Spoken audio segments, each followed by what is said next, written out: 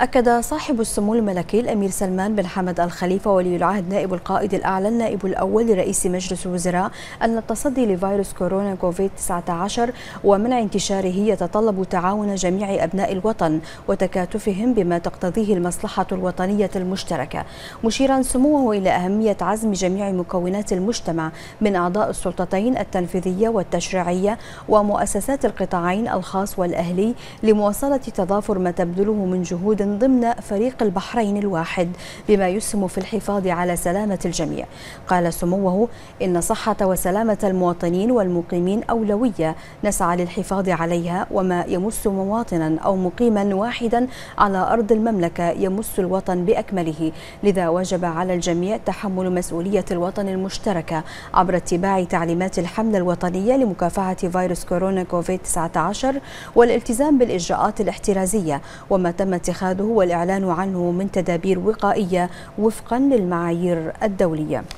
جاء ذلك لدى ترأس سموه حفظه الله اجتماع اللجنة التنسيقية بقصر القضيبية اليوم بحضور عدد من أصحاب السمو والمعالي من كبار المسؤولين حيث اطلعت اللجنة على تقارير حول الإجراءات التي تم اتخاذها حتى الآن وخطط التعامل مع المرحلة القادمة منوها سموه إلى أهمية مواصلة تعزيز الإجراءات والتدابير المتخذة من قبل الجهات المعنية وتكثيف كافة الجهود لسرعة التعامل مع أي تطورات محتملة بما يسهم في التصدي لانتشار الفيروس في المملكة بما يتماشى مع إرشادات منظمة الصحة العالمية.